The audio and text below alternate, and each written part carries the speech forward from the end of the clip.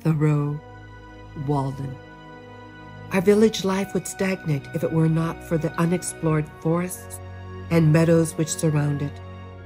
We need the tonic of wildness to wade sometimes in marshes where the bittern and the meadow hen lurk, and hear the booming of the snipe, to smell the whispering sedge where only some wilder and more solitary fowl builds her nest, and the mink crawls with its belly close to the ground.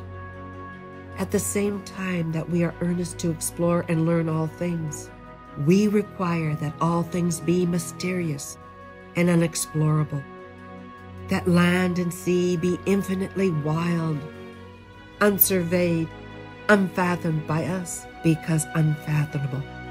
We can never have enough of nature.